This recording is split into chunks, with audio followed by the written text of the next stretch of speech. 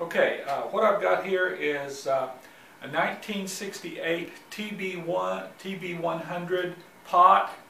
It was a thin skirt. I've added a uh, Stewart-MacDonald uh, archtop tone ring that I think is about 20 years old or so. It's an older one anyway. And um, I've put a, a maple, uh, curly maple neck on it. It's got the original uh, keys. Um, okay, there you can see those. Okay, and uh, a rosewood fingerboard with a Mastertone um, wreath inlay. So, um, and here's what it's going to sound like.